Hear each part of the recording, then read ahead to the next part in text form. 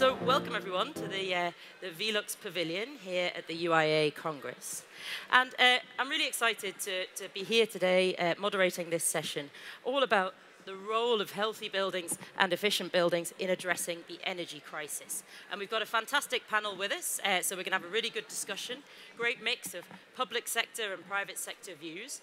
But uh, uh, let me introduce myself first. My name is Cassie Sutherland, and I'm the Managing Director at C40 Cities. And C40 is a network of nearly 100 of the world's largest cities that are all coming together to collaborate to, to tackle the, uh, the climate crisis and uh, with the overall mission of working to halve emissions by 2030 while increasing equity and increasing climate resilience to, to impacts. So let me maybe just give a couple of minutes of framing and then I'll go to introducing my wonderful panel, who are all looking lovely, sat here in this lovely building. Um, so we're in an energy crisis. I think we, all, we are all aware of that. We're in a global energy crisis. It's, it's fueled by volatile fossil fuel prices, uh, but also the invasion of Ukraine, which has caused a ripple effect around the world. And the consequence of that is rising energy costs, and those particularly hitting or biting on, on, the most vulnerable and those on the lowest incomes. So we've got a, a crisis that's kind of spanning multiple sectors and people.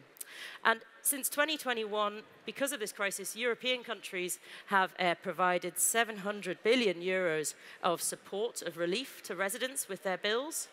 And of course, that's much needed, but it's interesting to think about the scale of that kind of investment. And, and the scale is equivalent to retrofitting around 8% of the buildings across central, northern, and southern Europe. So, you know, we, of course, the relief was needed, but how could we invest further money and further funds into actually having a longer term reduction and tackling of the energy crisis.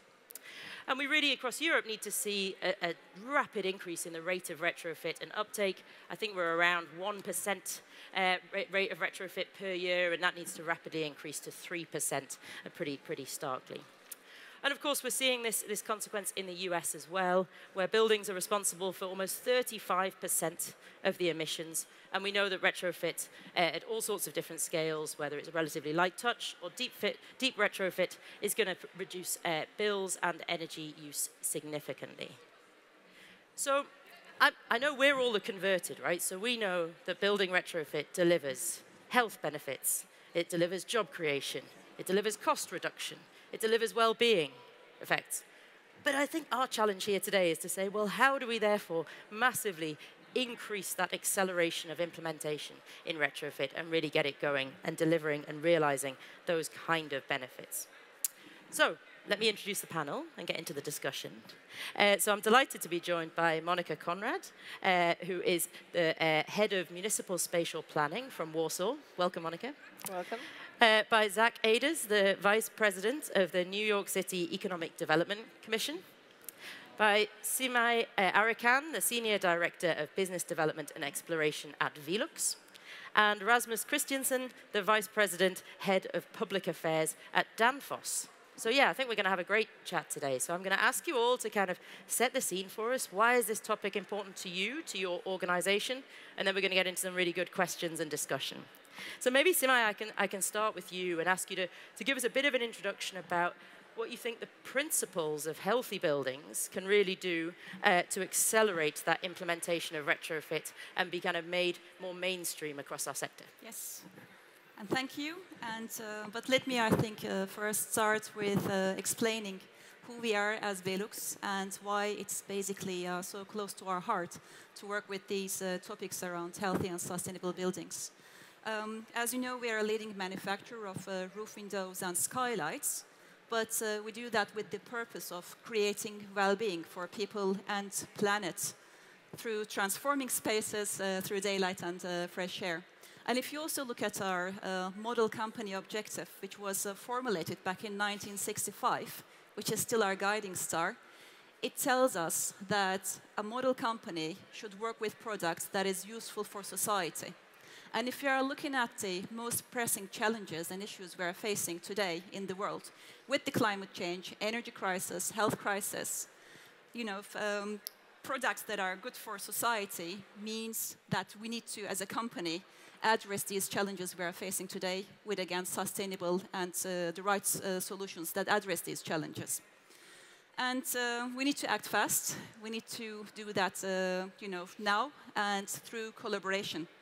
And I want to also sort of like highlight uh, some of the data uh, that also, you know, um, again, uh, explains why we need to actually do it uh, as soon as possible. Um, if we start with the climate change and uh, look at the role of our industry, we know that, uh, you know, um, three quarters of Europe's buildings are energy inefficient. And this is on its own responsible for 40 percent of Europe's uh, energy consumption and over a third of actually its CO2 emissions. And um, we also, as you mentioned, have learned that we need to triple our efforts in terms of like, you know, improving the energy efficiency of the buildings within the next decade compared to the uh, previous decade.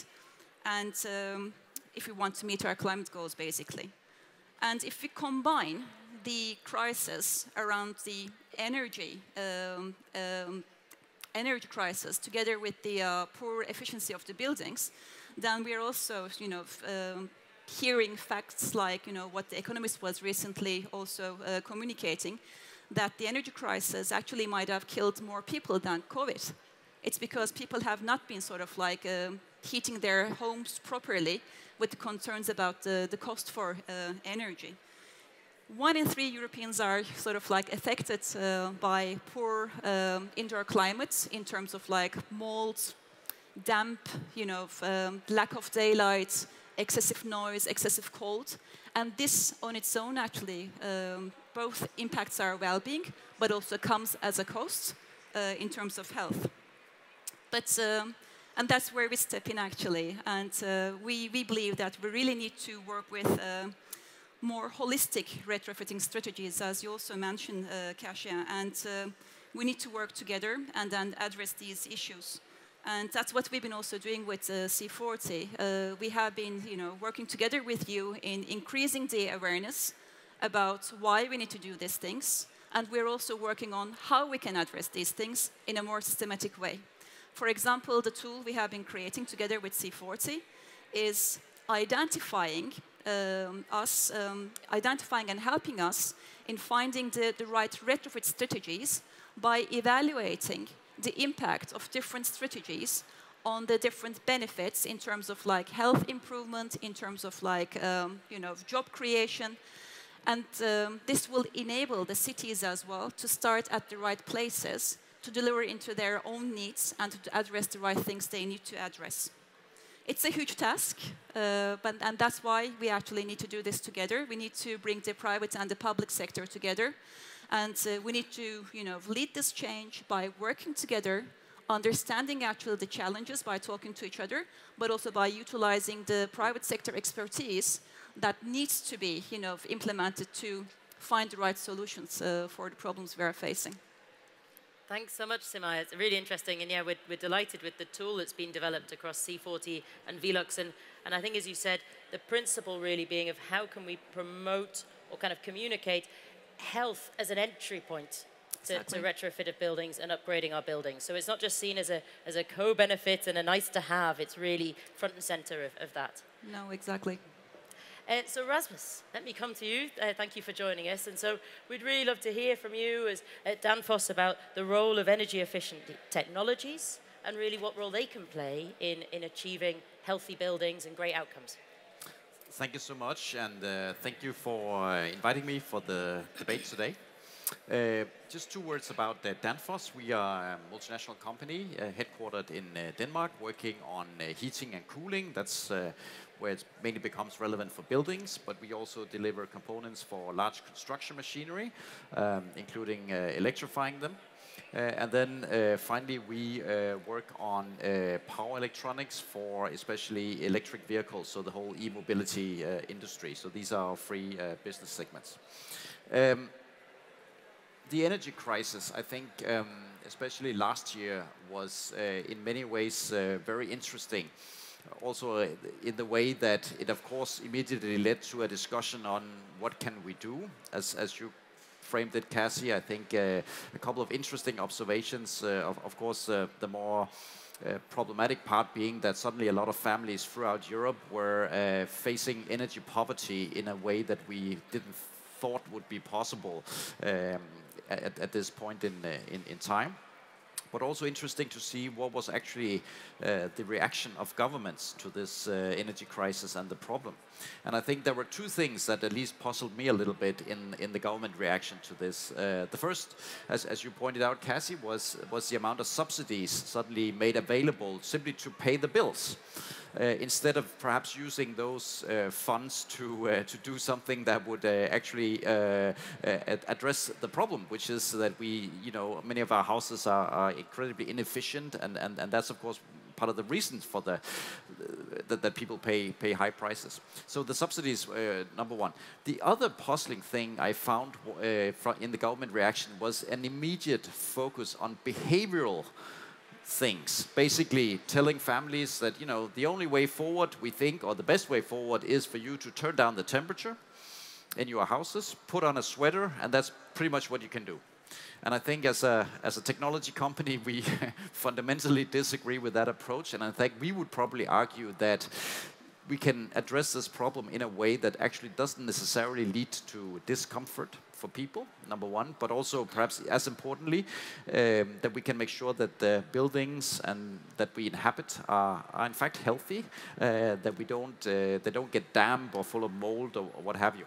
So the technology is there, but I think for me, again, puzzling that it seems that governments were under the impression that all the low-hanging fruits had already been harvested, that there wasn't much you could do. Of course, you could do some deep retrofitting that everybody realized would be very expensive and take 10 years, and in, in, so leading to a little bit of an apathy. And then on the one hand, we'll just dish out some subsidies and, and encourage through behavioral campaigns people to turn down the heat. Now, so what can we actually do about it? And I think uh, there's a lot of things we could do, but just to keep time uh, short here, just give you one example. Um, an old Danfoss invention that uh, actually we don't think we didn't think much of until last year because it's a minuscule part of our turnover and not, not really what we do anymore. But suddenly it became uh, important again, namely the thermostat. Uh, almost like a no-brainer. But I was really shocked when I saw the stats saying that in Europe, in the European Union, we have alone, we have 500 million radiators without a thermostat. So basically, what they have is a mechanic valve where you just, either it's shut off or you open it. And that means that the radi radiator then runs at full speed. And then, you know, what happens is if it gets too hot in the room, people open the window. so you can Im immediately see where this leads, right? Uh, a massive waste of, of, of energy. Um, and of course, people simply keeping the radiator shut because they couldn't afford to pay the bills. But just putting on a thermostat, it gives you an enormous uh, effect in terms of energy efficiency in the double-digit numbers. And again, here we are not talking about some complex thing that takes a long time to install, uh, invasive in the building, or uh, has a very long payback time. During the energy crisis, the payback time would be, I don't know, days probably. A thermostat, a, a mechanical thermostat, the simplest one, still gives you a very high impact it's 19, 15, 15 to 20 euros, depending on where you buy it. Of course, you can build on and, and, get a digital smart thermostat that corresponds with the other thermostats in, in the room, and that gives you a higher impact, but of course also more expensive. But the point here is there are actually technology available with a very short payback time, um, easy to install. People can almost do it themselves, and with an immediate impact on energy efficiency in buildings and hence would also contribute to lower the bills. Now, that was just an example, is, I think, and the, it, the point is this is an example of a much wider ecosystem of technologies, controls, uh, solutions like Windows that can be applied, and uh, most of them actually with short payback times. But it seems to me that there is still a lack of awareness in the ecosystem about what is possible. Uh, thank you, Rasmus. That stat has blown my mind, right? 500 million radiators without thermostats. And another 250 million that has a very, very old thermostat that, thermostat that is either not working or could be replaced with a more efficient, newer one. Wow, okay, so 750 million uh, radiators to be improved. Room for improvement. room for improvement. But, but what I also re you know, really appreciate from your opening remarks there is this using of technology that is available and needs to be applied in a way to solve these problems. You know, not always saying, do we need more and more solutions to be developed? We have so many solutions that are out there. And actually, you and I were just discussing this yesterday about, you know, there are so many solutions that are there. It's a matter of them being applied and, and also awareness being raised of them, isn't it? So thank you very much. Um, so Zach, maybe I can now come to you to, to tell us a bit more about uh, the New York City initiatives and policies in this space of healthy buildings and retrofit. Yeah, thanks so much for having me. Um, glad to be here from the New York City Economic Development Corporation. Uh, we're technically a private nonprofit that works directly for the city of New York, so we're tasked with implementing uh, New York City policies. And around healthy buildings in this conversation, um, a lot of what is in PlaNYC uh, from the mayor is number one, uh, protecting the city against climate crises. Uh, number two, um, improving the quality of life. And then number three, building a green economic engine. And so we touch on all of those things from the workforce development and economic development aspect, as well as implementation through capital projects, not only for the properties that we manage that are owned by the city, but for uh, city projects. So uh, when it comes to healthy buildings, uh, directly, a lot of the initiatives that we do is are helping building owners deal with uh, meet the energy requirements of local law 97, which is reducing the emissions that are allowable from buildings, uh, working with the workforce to develop this new green workforce. Uh, we're doing a study right now trying to understand what that is, what the size of it is, and where you know, the biggest drivers are. And all of this really wrapped around prioritizing the communities and the people that live in the communities that have been most affected by climate change. Um, so working, doing, developing those workforces, finding ways to get them into the capital projects that we have. So that's really our big levers of change, uh, working with the, the industry, private and public, and then actually implementing them. Uh, so yeah, we're glad to be here. Uh, the, the radiators, this funny, that's a big problem in New York, especially with the district steam. We've all lived with it. Uh, common saying is the hottest summer I've ever spent was winter in New York. Uh, and so yeah, you open your windows and that's how you deal with it. So uh, yeah, glad to be here and add to the conversation.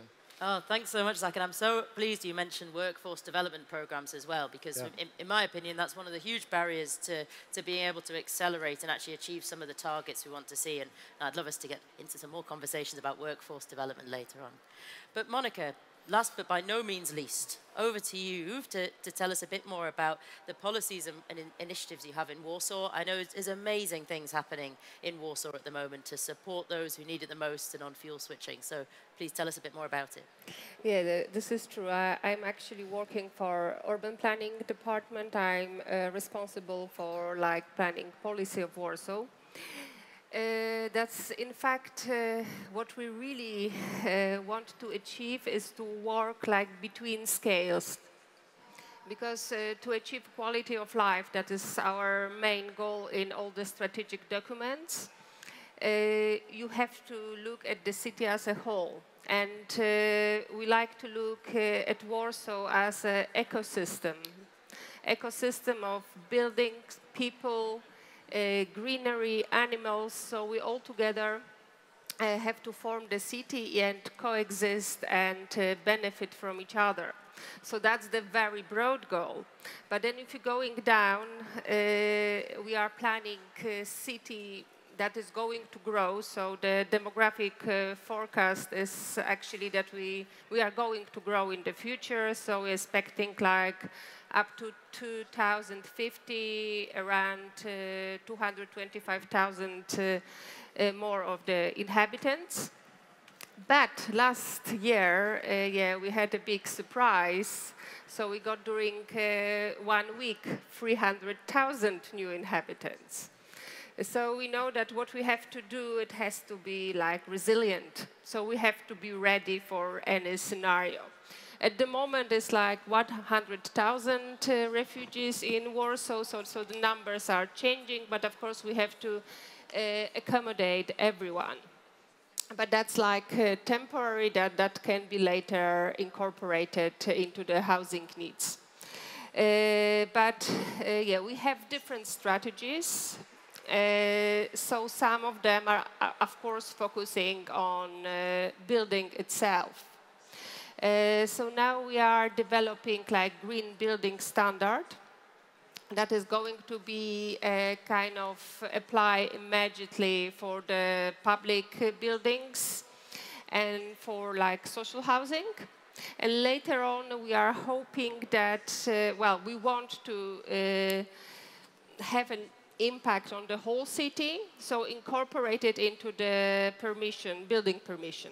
So we have to have certain standards to, to get building permission. But of course, we have to do it smartly uh, and not as well to stop development in the city. So now we are carefully kind of uh, putting the measures how it should be done and what we really want to achieve. Another uh, problem is actually quality of air. That is in Warsaw, yeah, for some areas that area quality of air is very poor, so almost not acceptable.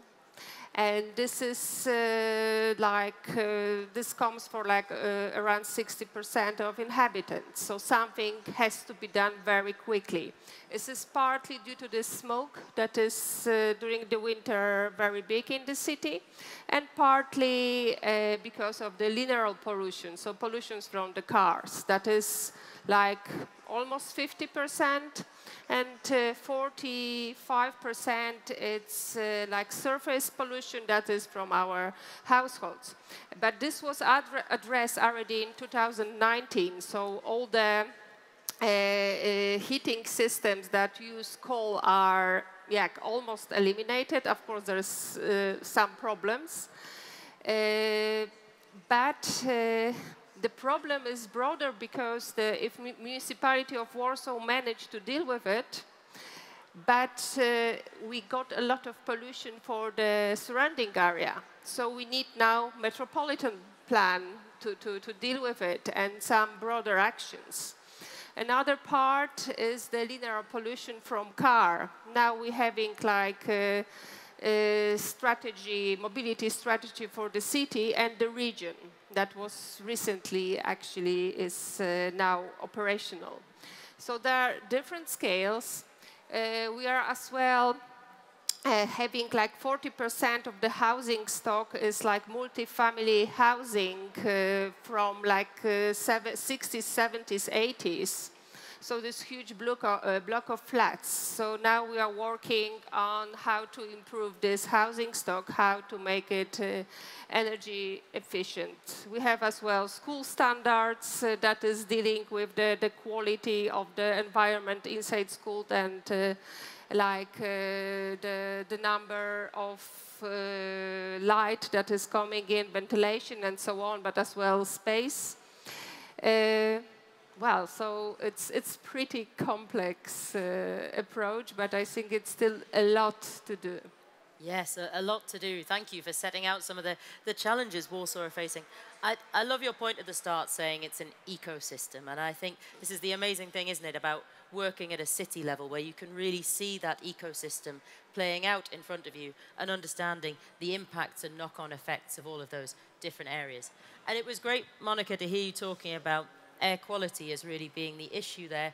And almost no matter the source, you know, we've got to deal with all the sources of air quality from our buildings, from the transport, and there needs to be kind of strategic plans in place to deal with those. So, so thanks very much. It was really useful to hear. So I'm now going to move us into some, some questions. I'm going to ask you each a question, but please chip in with each other's if you'd like to, to bring in some thoughts of your own. So Zach, maybe I'll, I'll come to you first to hear a little bit more about the work at the New York uh, City Economic Development Commission. And, and I think I'm particularly interested in the barriers or challenges that you're facing in implementation. You mentioned some of the areas of focus before, Yep. workforce development, uh, being implementation of Local Law 97, which is a fantastic piece of regulation. Um, but yeah, we'd love to hear a bit more about those barriers and really what you're doing in, in your organization to overcome them. Yeah, absolutely. When it comes to retrofits and what you were touching on at the beginning, there's so many challenges that I think the greatest ones are from the in the lack of expertise on what to do whenever uh, to reuse the building and reuse uh, materials that are in place, and really the American culture of building new instead of uh, using what we have. But uh, relevant to this panel, uh, some of the really largest challenges we have are around energy use. And so, one, um, once we build and complete a building, um, getting it to perform in the way that the energy model reflected is, is proven to be a big challenge. And even if we do commissioning, we have the operators uh, at the table during design. We design for the set point temperatures that are going to be used on a day-to-day -day basis. It's still shocking at how long it uh, takes and some of the complications uh, to actually get those numbers that, that were projected. Um, so we're trying to meet that challenge and maybe uh, more detailed specifications. Um, in, in other ways, yeah, I think Danfoss may have some uh, great ideas on that. I think also the regarding energy is trying to get to net zero. And so with more straightforward programs like libraries, we've been able to do that. Our last two libraries are net zero energy. Um, that's where you have uh, a lot, oftentimes a single story. Uh, you can implement operable windows. Um, there's really temperature that you need to maintain, but not so much uh, requirements on other aspects of uh, controls like that a library, or sorry, a art museum or even a laboratory would have. So we have a laboratory project where we really try to get light into the lab spaces for the workers where they spend the uh, vast majority of their day. And of course, the best design for a lab would be three foot thick walls um, to, you know, have the humidity, temperature, and also uh, air exchange requirements that uh, use so much energy. But of course, nobody wants to work in that kind of environment. So we, in our last laboratory project, we have our, our labs as you could think of it as a cube, but, but then we had to, we can have glass around that, but we had to wrap that in our office program just to separate it that much from the edge. And so they're stepping back, but they're, that, that access to daylight is, is just that much further away. And so finding those programs, we're just, we, we haven't found a way to come close to net zero energy use. And so that, that is a big challenge. Um, with an art museum project that we have going, it's similar um, with air, uh, air exchange, but really more with uh, humidity requirements.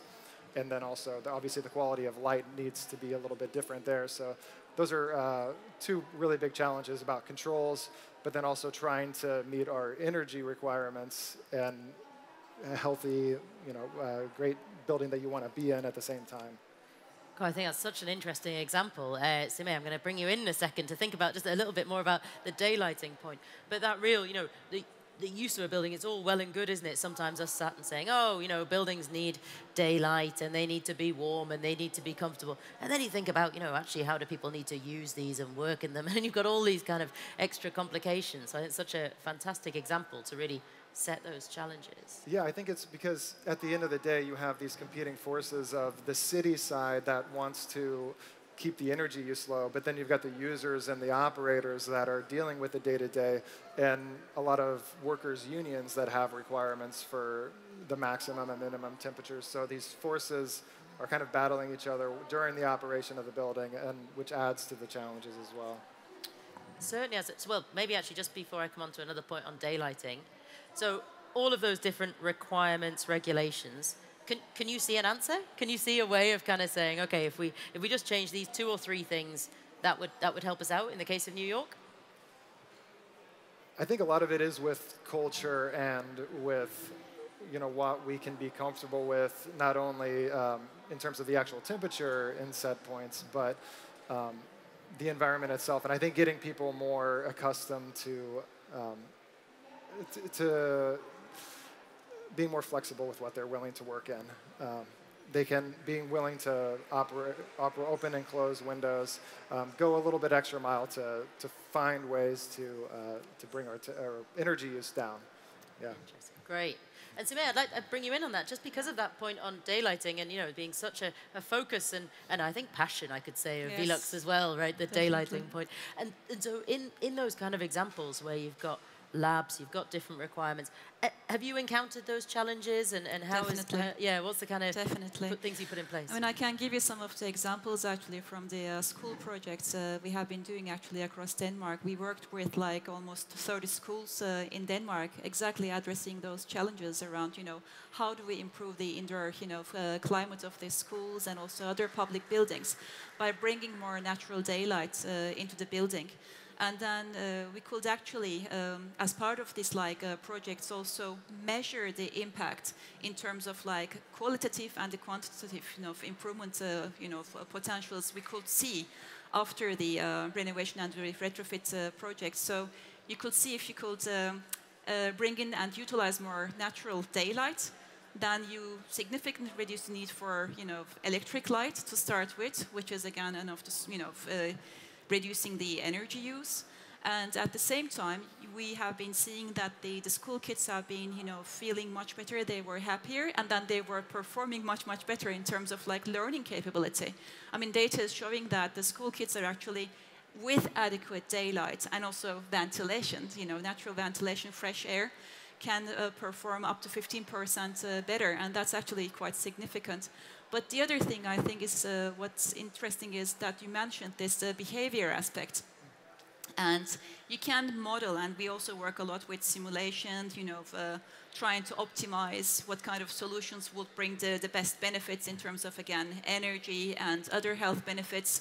But uh, when it comes to, you know, you can design everything around those principles, but when it comes to how people actually then live and work in those environments is making a difference. So, and then you also need to, as part of these, um, you know, projects we've been doing actually again in uh, housing and other sort of like projects, measuring also the behavior of the, the inhabitants actually of these buildings, which is giving significant, you know, um, learnings, which then can be also applied in, you know, optimizing your solutions. Smart solutions for heating, smart solutions, you know, for, for how to operate the, the windows. Those needs to be actually to optimize. Of course, you can do by starting with increasing awareness so that the, the people actually do the right things. But you can also even further optimize by integrating the smart solutions um, to, to, to, you know, um, make sure that the you know, windows are opening at the right time, the heating is switched off at the right time, and, um, and we just need to sort of like bring all these things together to find the right solutions. Great, thanks very much. Well, no, I, I, I, like this now. I'm setting this up so we'll get a challenge, you see, from our public sector, our city officials, and then we'll get a response from how the private sector can also contribute, and then we'll hopefully end up with some new solutions in the middle. That's my, my logic for today. So, Monika, you mentioned before some of the real issues that you're facing in Warsaw and needing these challenges uh, and, and, needing this kind of systemic uh, approach. What are some of the barriers that you're really facing in implementing programs or the strategies to tackle air quality, to switch away from coal stoves, to really put in your new building codes? What are some of the challenges you have? So I think the, the biggest challenges, uh, well, they're on different levels as well. Uh, of course, there are like uh, financial challenges, but as you mentioned, it's not necessary that you have to invest a lot. And I think uh, here the we have to just kind of conduct and educate people uh, how to do it and find some partnership how to deliver kind of new quality, especially for the new housing. Uh, because in Warsaw we have one of the biggest heating system in Europe, uh, but now we have to change it. So we don't like to uh, kind of put new buildings on the system because we know that uh, we have to switch to more local systems. And we have to uh, change the sources uh, uh, for the energy, so that, that is under transition. This is, not, this is challenging because in, uh, it's in the private hands, uh, so actually more state policy can regulate it. But again, we, we have to show good examples how we're going to, to manage like municipal uh, buildings, municipal uh, transportation system, because we have actually a very big fleet of uh, uh buses run on uh, electricity, and then uh, really extensive tram and metro system. Uh, so we all understand that with the energy prices going higher and higher, we need our own energy source. Uh, so that's uh, that what municipality now is trying to solve, build their own capacity. And uh, so that's one challenge. The other challenge is actually how to construct new buildings. Uh, and here, very important will be sort of interaction with private sector, with public-private partnerships. And I think we should set very high standards and then find a way uh, how to achieve it in a dialogue. Yeah, I think that's the, the most uh, urgent issues. Yeah, well, they're big, they're big challenges to have, but, but you know, on, on the municipal leadership with that size of fleet and the assets, it's uh, amazing to be seeing the kind of leading by example of Warsaw and saying we have to find our own way of, of managing out of this. And, and maybe, Rasmus, on the public-private partnerships that Monika's talking about, you tell us a bit more about how, how Danfoss is operating in that way, how do you kind of work with cities for those challenges, and, and also what you think some of the best technical solution, technological solutions are to some of these issues. Thanks. There's, um, um, there's a lot on the table now, and I'd love to respond both to uh, Zach's point on uh, some of the barriers uh, in, in, New York City, but also on, on Warsaw, and, and maybe um, uh, starting with, uh, with, with Warsaw and some of the, the challenges that you're facing. I think I we as a company would very much agree with the approach you have taken in the sense that we need to see the the city as, a, as an ecosystem uh, and, and, and try to encourage a little more holistic uh, planning of the energy systems and how it interacts with the, with the rest of the city. Um, a little advertisement here, we just published a, a small white paper, so I hope uh, Velux will forgive me for, from, uh, from sporting that here, but it's basically a roadmap for how to, to decarbonize cities, exactly using some of the technologies that, uh, um, and solutions that, uh, that of course we make, but that other companies make as well, but, uh, but where perhaps the awareness is not, uh, not fully there. Um, but the, but the, the, the, key thing is still this kind of uh, a, more, more holistic planning uh, to what we're doing. And I think if you just look at Warsaw, I think you have uh, a couple of, uh, of, of, of, good things going for you, actually. Uh, one thing is, is exactly your, your heating system, the, your district heating system. This is something that is, I mean, you find it here in Denmark and some of the other Nordic countries, but uh, you don't have that in the, in, in the US, for example, a district heating system, except for a few university campuses, perhaps. But this is something you find in throughout Eastern Europe, and it's a huge asset as an enabler uh, for an energy system in a city. And why is that? You, you also mentioned that um, that you would like to have your own energy sources. And in fact, you have quite a few in Warsaw because you have a lot of excess heat. This is another uh, key point I think we uh, in Danfoss would like to make that throughout Europe, um, there is unused potential of excess heat corresponding more or less to uh, approximately 3,000 terawatt hours. So that's Europe's entire consumption of heat in buildings, including uh, hot water, could be powered by excess heat alone. So excess heat from uh, industry, excess heat from uh, smaller things like supermarkets, data centers, uh, the London Metro, lots of excess heat. You find it everywhere. And we have the technology now to actually uh, harvest it uh, and, and, capture it and, uh, and, then reuse it. And the best way to do that, you can do it in the various ways, but the best way is if you have a district heating system. Because then suddenly uh, it's a game changer and, and, and you can use it. Of course, over time you need to make sure that the district heating systems are fitted so they can also handle lower temperatures. You use heat pumps to, to basically bring it up, but, but that's another story. But, but, but the point here is, again, there are some technologies, and a lot of cities have heat sources available that they are currently not using all over the world. A, it's a great example. So I'm based in London, and yeah, in the north of London, there's a project that extracts excess heat from the London Metro or underground system, and if you've been on it, it's hot. So there's a lot of excess heat yeah. there. And it's uh, used to heat a leisure centre and swimming pool. And so that project's called Bunhill Project. It's a cool one to check out. It's very nice. And, and very nice example of public-private partnership, actually. It really came and, together. And, and, that's actually, if I may, that's, a, that's the whole point. Because the reason why these things are not utilized yet, because the technology is there, the payback time is short. I mean, what's not to like? But it's exactly because we cannot get these partnerships going. Because it's not something you can just regulate. You can regulate a little bit. But ultimately, you need various stakeholders to get around a table and say, okay, we can benefit from working together. You have the excess energy, I need it, how can we work this out? Yes, ex exactly that. And, uh, and I think it's amazing when, when you point to one of those working in a city, in a country, everybody's like, oh yeah, of course we should have that partnership. But it's been really quite painful sometimes to, yeah. get, to get to that point. That's great. So, so I'd like to, to move us on to some questions we touched on before about workforce development. I'm aware here we've got two very large employers. You have a huge amount of workforce, and I'm sure you're also seeing the need for, for, for different skills, for new skills when we move to a, a bigger rollout of, of low carbon technologies and how we kind of transition to that point.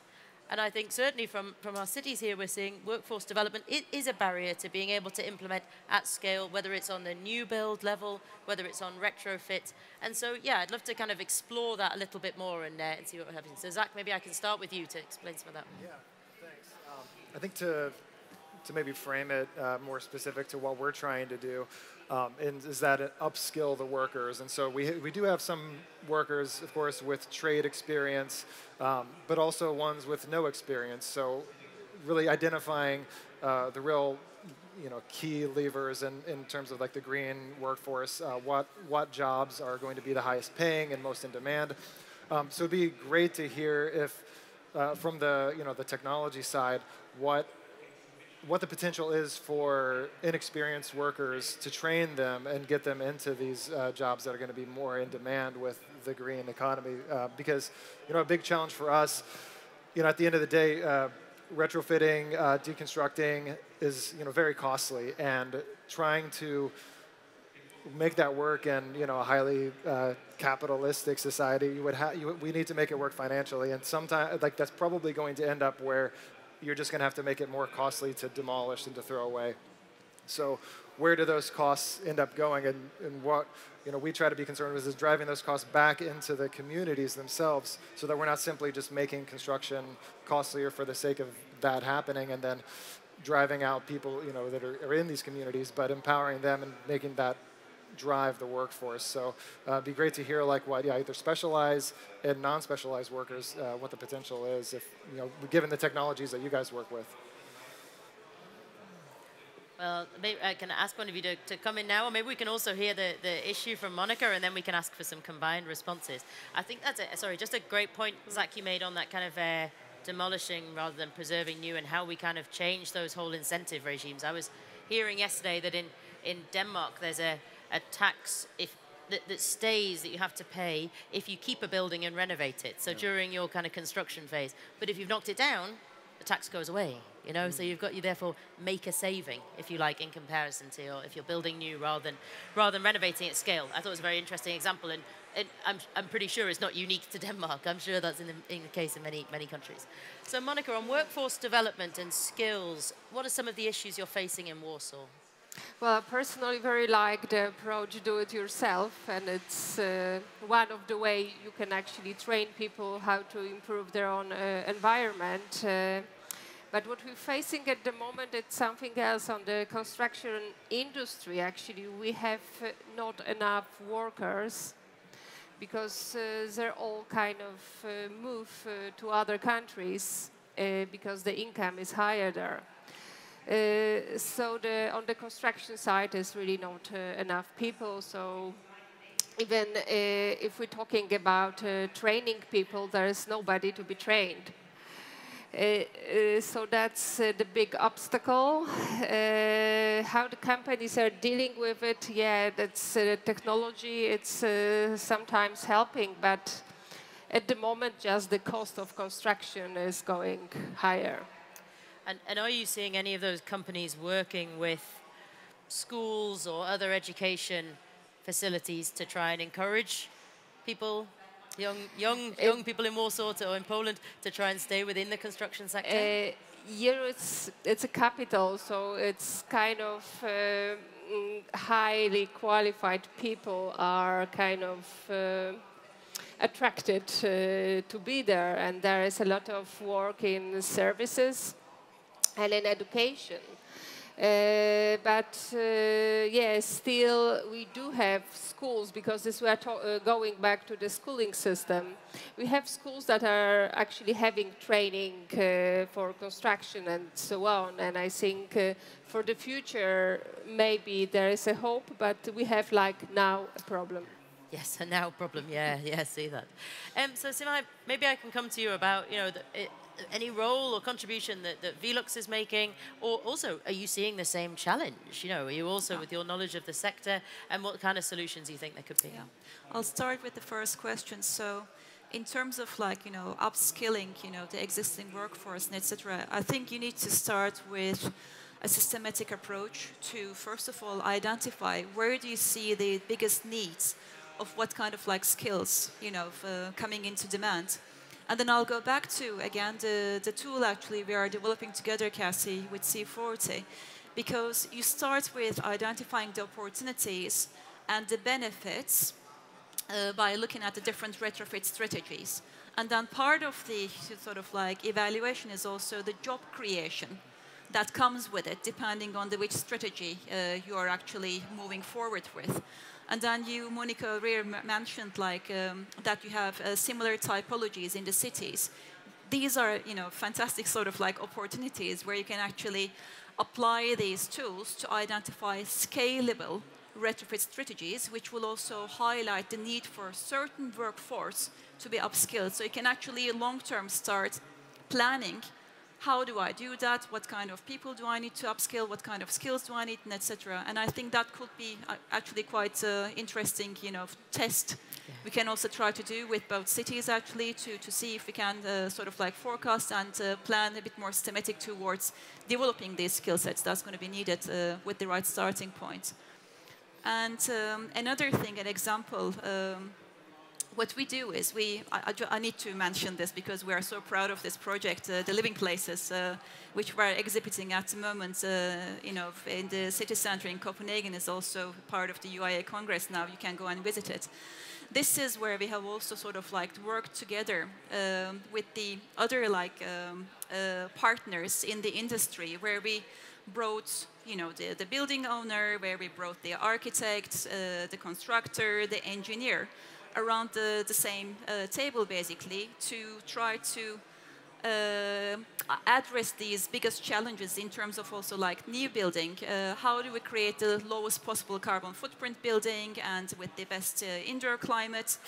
And it's about, again, bringing the expertise that is needed to address those challenges into the same room throughout the process.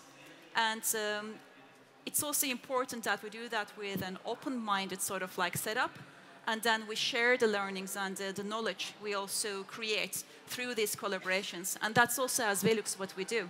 You know, if you, for example, want to understand what kind of principles we have uh, worked with, what kind of like know-how did we create, what kind of tools did we actually uh, develop to uh, create this solution, you can actually have access to that. It's open source, and then you can learn from it. And it's, again, I, I, think just repeating myself, but it's really, really important, as you also said, that we start working together, share the knowledge and the expertise we have, and then really utilize more and more the public and uh, private sector uh, collaboration.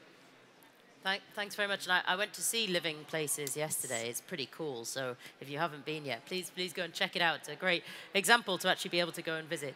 So, so Rasmus, how about the, the work of Danfoss, where you see some of these uh, improvements can be made, how we can really stimulate this workforce and, and get that increase of uh, implementation of technologies too? Yeah, it's, this is, of course, an incredibly complex problem. I think um, I think Monika put it nicely with, you know, it's, it's, it's really a, there's a distinct problem with simply a lack of workforce, and then you have a skills problem, and the two are also related. but if we dissect a little bit, I would say on the workforce, I think this has, at least over the past couple of years, has been the main problem seen from our perspective, that we simply cannot find the people to roll out the technology fast enough. There are not enough installers in Europe to roll out heat pumps or other forms of uh, you know, advanced technologies uh, and install them. So I think the solution to that, at least in the short term, is actually to look for technologies and solutions that are not labor intensive. And I think this is where the digital solutions comes in. Uh, and I think people don't quite understand the game changer this is also for energy efficiency. How much you can achieve simply through digital means. Um, we sell now a, a, number of products that also solve some of the, I think, problems that uh, Zach mentioned with uh, behavior and the reason why buildings actually do not perform as they were expected. And a lot of that can be addressed through digital controls. And there we are in a very different place than we were 10 years ago or 20 years ago the use of artificial intelligence, which we now use a lot for predictive models in, in buildings, has you know, generates enormous benefits. It can predict exactly how people behave based on historical data. Uh, it makes sure that, again, when the sun shines on a building, you switch off all the, uh, all the heating sources and, and so forth. So everything is regulated. Um, and the energy efficiency gains just from digital solutions. We have one called Leanheat uh, for district heating uh, that basically controls the heat go that goes into large uh, skyscrapers or large uh, housing uh, uh, housing um, blocks, right? is around 10 to 15 percent. It's a digital solution. It takes three hours to install if you have sensors also in the apartments. But, but basically, it is not labor intensive. So this is a, really a way to bypass the workforce problem. And I think we'll see more of that. The second problem uh, then relates to skills, and that's another impediment. Uh, we see many places that we don't find the, the right number of qualified people. In a place like Africa, for example, we are working a lot on training people to install uh, cold chain solutions so they can cool the food they produce. Uh, and unless we do that, unless we start with there, it's never going to roll out. So, so this is simply the first place and the most important thing to focus on. And then technology is actually okay and the payback times are good and they can finance it, but there are nobody who can maintain, install, and run it. So we need to start there. But of course, in Europe, it's a slightly different matter. But then I think it's also a question of, of really looking at the, the right spots. I think an interesting project that we are working on in Germany now is to look at a little bit, you know, where do we find sort of sectors or groups of people that you could sort of reskill, but where it's actually close enough that it would make sense. And I think a fun example to me is uh, we had discussions with chimney sweepers this is a bit of a sunset industry in Europe in terms of, in, in the sense that regulation over the next 10 years will basically phase out a lot of, most of the uh, sort of uh, private, uh, you know, uh, uh, fireplaces and what have you. So, so, so their business will go down. But why don't we start, since they go into people's houses anyway, and reskill them and learn them, for example, how to uh, do a boiler check or, or something like that. So I think th these are the kind of innovative ways of of working that we, we need to, to perhaps uh, investigate further to both upskill and, and get the workforce that we simply cannot find at the moment. Super interesting. Uh, at, at C40, we do quite a lot of work on the just transition and thinking about how we can support cities to transition workers from one industry to another. I don't think we've thought about the chimney sweep industry, so I'm going to look to my colleagues to make a note of that because we must talk to our, to our just transition colleagues when we get back to the office. Thank they you very they, much. They need more work in the future, so they're, they're game. They want to talk. Yeah, I, I, exactly. You know, they, they shouldn't be left without, yeah. without work and because of regulation. I think it's, it's such an important point. So uh, we're coming, time flies. We're coming to the end of our session. So, I mean, a huge thanks to all of you. Very interesting. I'm, I'm going to come to each of you for just a final remarks, really. And I, I guess I'd like to hear two things. One, what have you taken away from this session? What, what's been useful? What's been the useful thing that you've heard? And number two, what do you want? What do you need next? What's your most urgent need in terms of public-private collaboration? So Monika, to put you on the spot, maybe I can come to you first. Uh, yeah, I think with this uh, working force, how to change it, that was that is very remarkable, and we should uh, search actually what are the different groups that they are going to lose their profession, or like what is the unemployment rate in different sectors, and how you may train these people, because it will be in their own interest the other thing is like, uh, I think the awareness that we should have uh, about these small, smart solutions uh, at uh, each building is uh, it's very important. And I think like more research and monitoring uh, should take place as well in Warsaw. Yeah, and the biggest challenge it's actually how really start to work across uh, sectors because so far I mm, I'm participating in a lot of discussion with different groups and everyone is agreed that we need a tool for cooperation. But still, you know, the the tool is not yet there, so we have to start really we have to try that we have to try it day by day and find ways to, to cooperate and finance it. Thank you. Zach? I uh, think the takeaway for me is thinking a little bit more about the challenges that I mentioned about behavioral and the operation of public buildings and what how technologies can assist with that. Um, mainly the problem that you know public sector budgets are always stretched, the operation is difficult it's typically the person uh, who has a lot of other job responsibilities that's expected to maintain the, the temperature of the building. And then often, a lot of cases, the only definitive thing they can say is that the building's not running as it probably should. And so it, it, hopefully artificial intelligence or other technologies can help with this. Like for a librarian, for example, who has to ensure that the kids aren't destroying things, the bathrooms are clean, and yet the windows are operating and everything's maintained correctly. So um, people that have all of these concerns and, and not a lot of expertise, being able to operate the building, there seems to be such a, a, a gigantic opportunity there. Uh, what we need, um, I think we need the participation of the private sector to help uh, upskill these workers and find opportunities to train our labor forces in a way that benefits both the the companies and you know ideally implementing their systems and then of course like our workers themselves being able to upskill and, and grow their uh, their incomes thank you Simay. I think everything starts with awareness first. You know, if, uh, based on the examples you were giving, you know, the behavior of the people, we need to basically start changing them with uh, increasing the awareness so that we can actually start with the little steps which can actually have big impact in terms of you know improving uh, energy efficiency and how we live basically. And then we also need to bring this like systematic approach, I think, to identify the bigger opportunities, which we need to address with technology and with bigger, like sort of like more in-depth renovation projects.